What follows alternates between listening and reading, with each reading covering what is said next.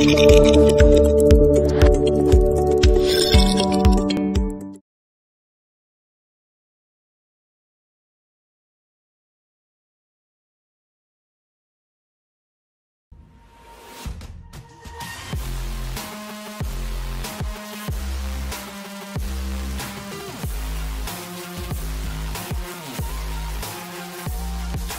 So, hello guys and welcome back to our channel. तो this is gonna be the review of my bike the Hulk तो मुझे लगता है कि अब ये सही वक्त है अपनी बाइक का रिव्यू करने के लिए। लोकेशन अच्छी मिल गई, पता नहीं, आते आते।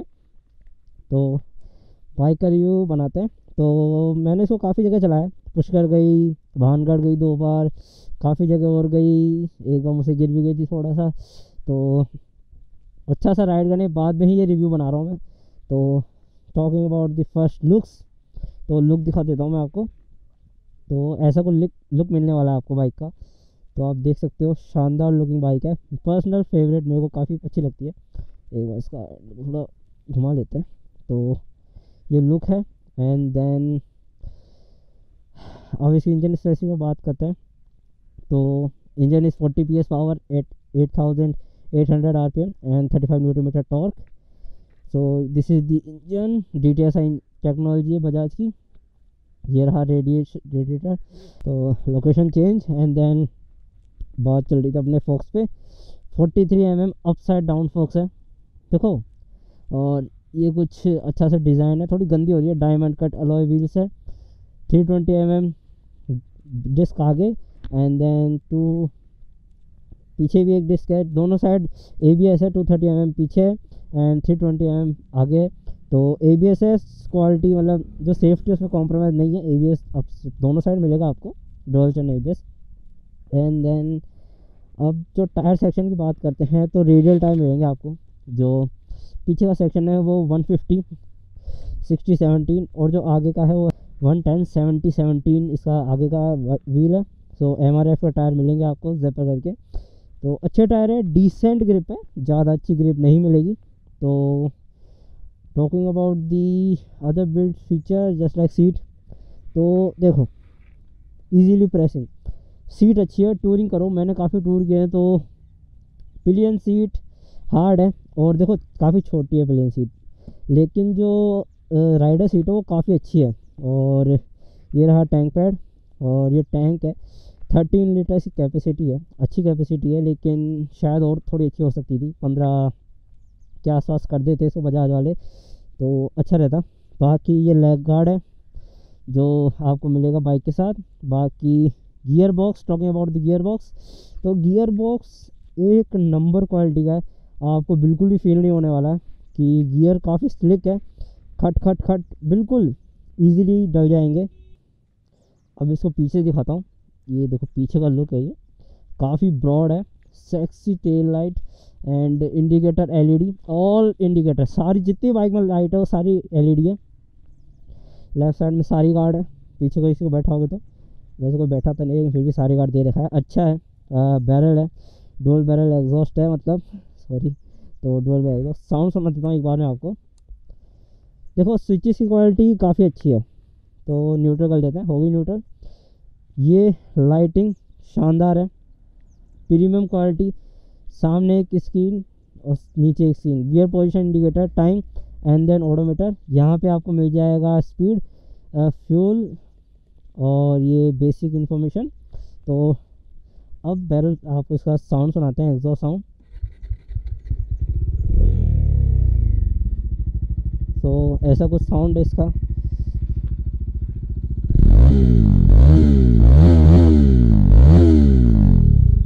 तो काफ़ी बेसी सा साउंड है और और रैव कर ही लेते हैं।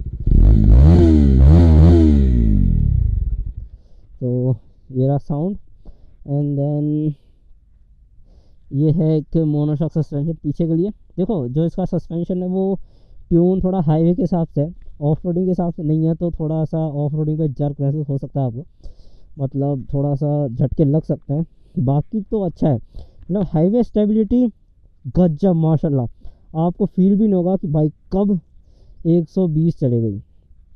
No stress till 120 kilometre six speed gear box और सबसे बड़ी अच्छी बात है कि सिक्स स्पीड गियर बॉक्स है ये जो बाइक है, ये बजाज की तरफ़ से प्रीमियम क्वालिटी बाइक है 400 सीसी इसका जो इंजन है वो 373 पॉइंट समथिंग कुछ इंजन है। बाकी साइड लुक देखो भाई this is the total beast my Hulk काफ़ी अच्छी लगती है लुकिंग में। हॉर्न हॉर्न भी अच्छा है। तो इसके कुछ कौन से और बात कर लेते हैं। रिव्यू कौन सी होना पूरा नहीं होगा। तो कौन सी ये है कि पहली चीज़, इसका तो टैंक है, वो थोड़ा कम है। ग्रिप अच्छी कर सकते हो, लेकिन टैंक की तो क्वालिटी वो थोड़ी कम है। मतलब तेरह लीटर कम है, पंद्रह होता तो अच्छा होता।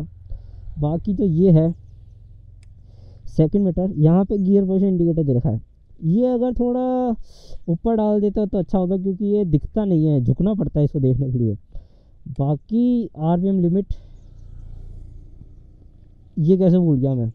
Guys look at this this mirrors aluminium cut alloy भाई, शानदार क्वालिटी काफ़ी लोग, काफ़ी कंपनियाँ यहाँ पे क्रॉस कटिंग करती है, लेकिन पूरा व्यू देंगे। No vibration in these mirrors. बाकी ये डिज़ाइन देखो, क्या डिज़ाइनिंग है। क्लच लीवर, क्लच काफ़ी लाइट है, pass switch high beam low beam और ये हॉर्न भी सुना देता हूँ एक बार। So this is the horn ये हॉर्न हो गया।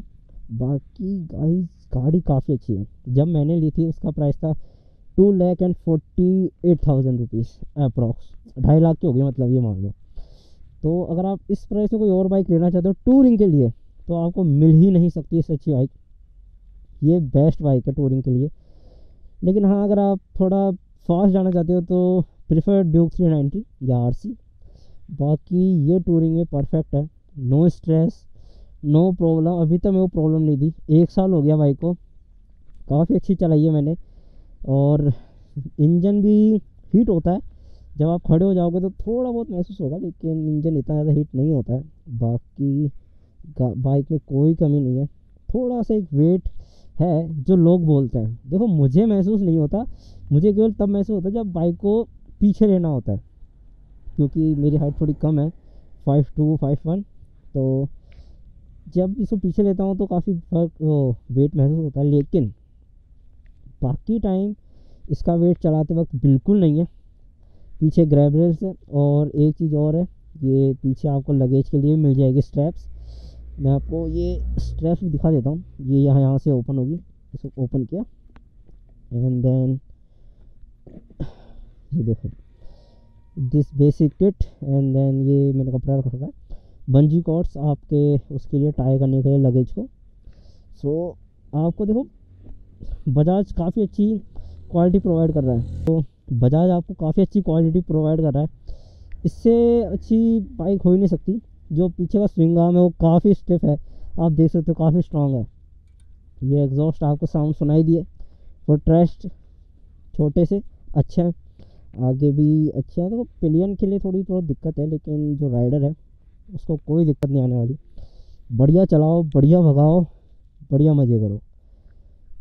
अब देखो बाइक नेकेड है तो विंड ड्रैग की बात करना कैसे पूछ सकते हैं हम? तो देखो अब अगर आप इसको एक सौ बीस पे चलाओगे तो नाइन्टी तक नो प्रॉब्लम। विंड ड्रैग इतना नहीं है। लेकिन 120 के बाद में जो ड्रैग महसूस होगा आपको विंड का, वो काफ़ी अच्छा होने वाला है। देखो, वो बाइक का कौन नहीं है, वो नेकेड में प्रॉब्लम होती ही है, ठीक है? तो अगर आपको वो हटानी है तो आपको स्पोर्ट्स बाइक जानी पड़ेगी, बस वहाँ आपको पोस्टर अच्छा नहीं मिलता। पोस्टर की बात कर लेते हैं आप। तो जो पोस्टर है, वो अपराइट है। आप जैसे ही इसे बैठोगे तो बाइक का पोस्टर अपराइट है। आप बिल्कुल सीधे बैठोगे। और बिल्कुल अच्छा ब्रॉड हैंडल्स है। ब्रेकिंग अच्छी है, जो बाइक की ब्रेकिंग है वो अच्छी है।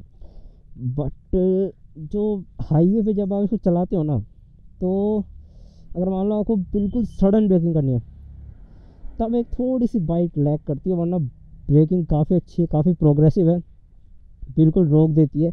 एबीएस है तो कितना ही ज़ोर से दबाओ ब्रेक को गाड़ी जाम नहीं होने वाली है आपकी, चाहे वो बारिश हो, चाहे मड हो, कुछ भी हो। टेल लाइट ये रही बैजिंग, डोमिनार की, यहाँ पे डोमिनार की बैजिंग है। यह फ्यूल कैप, और मुझे लगता है कि ये सही रहेगा। अगर आपको बाय करनी है तो आप कर सकते हो, क्योंकि इससे अच्छी बाइक नहीं है two point five lakh rupees के अंदर। So talking about in ride comfort वैसे मैंने वैसे बता तो दिया, लेकिन बैठ जाओ अपराइट पोस्टर है। हैंडल बार रेजर्स वैसे इनबिल्ड लगे हुए हैं। अगर आप चाहो तो मार्केट में अवेलेबल है। हैंडल बार रेजर्स आप लगा सकते हो। थोड़ा हैंडल बार और आपके पास आ जाएगा। और जो इसका फील है ना बाइक का, वो काफ़ी अच्छा है। बेसी नोट पावरफुल बाइक टॉर्क है बाइक में। और कहीं पे स्टॉल होने का कोई चांस नहीं है। काफ़ी अच्छी बाइक है। एंड देन ये जो फील है ना, जब बैठ जाते थे वहाँ जब कॉकपिट काफ़ी अच्छा है इसका। मतलब कॉकपिट नहीं कहेंगे, लेकिन बाइक के जो बैठने का जो सिनेरियो है, वो काफ़ी अच्छा है। टैंक काफ़ी वाइड है। आपको अच्छा लगने वाला है। और आपको ये सब बहुत अच्छा लगेगा। जब आप इसको चलाओगे, बैठोगे। देखो, बैठते, चलने के बाद में वेट गायब। लिटरली गाइस वेट गायब हो जाएगा। आपको महसूस भी नहीं होने वाला इसमें कितना वेट है नहीं है।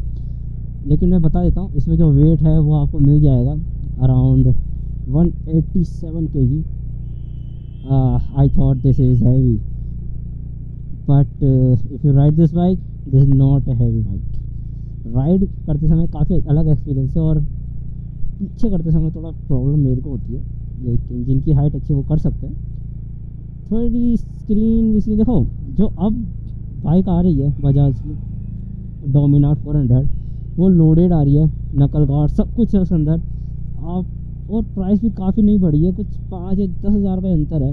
सो जाओ और ख़रीद लो अगर आपको पसंद है, ये बजट है आपका, क्योंकि इससे अच्छी बाइक नहीं मिलने वाली है। लिटरली इससे अच्छी बाइक आपको नहीं मिलेगी पूरे मार्केट के अंदर। और इसका माइलेज देखो, मेरे को तो हाईवे पे काफ़ी अच्छा मिला है। थर्टी इस चार सौ सी सी थर्टी का माइलेज कौन देती है? ड्यूब तो नहीं देती। और ड्यूब जैसी परफॉर्मेंस है थोड़ी सी कम है, तीन पी एस आई पावर कम है। लेकिन तीन पी एस आई ज़्यादा डिफेंड नहीं डालेगी, लेकिन ये बाइक काफ़ी शानदार है। प्रीमियम बिल्ड स्विचेस की क्वालिटी शानदार मिरर्स भाई मिरर्स की तो तारीफ़। ओहो मिरर्स की तारीफ़ होते हैं, रुकूँगा नहीं। मिरर्स काफ़ी अच्छे हैं, समझ जाओ आप। पूरा व्यू आएगा पीछे का, आप देख सकते हो। बाकी जो स्विचेस है, देखो वहाँ पे लाइट जलती है ब्लू कलर की। और जो काफ़ी अच्छी लगती है, काफ़ी अच्छी लगती है। एंड फ्रंट में बैम्बो के ब्रेक्स है बैक में बैम्बो के ब्रेक्स है। वाइट अच्छी है, लेकिन जब ये गर्म हो जाती है ब्रेक तो थोड़ी बहुत दिक्कत आती है। वाइट हल्की सी लैक करती है। थोड़ा वाइब्रेशन को बता देते हैं। तो देखो, वाइब्रेशन है।